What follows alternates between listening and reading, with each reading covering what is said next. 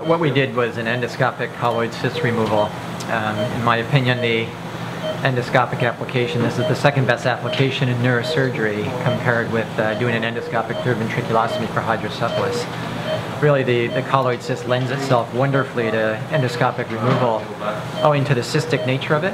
Uh, the fact that it's deep-seated in the central portion of the brain in the third ventricle makes other traditional access routes uh, somewhat more cumbersome and difficult and more risky. So the endoscope has truly uh, changed the playing field and the threshold for doing operations in these patients.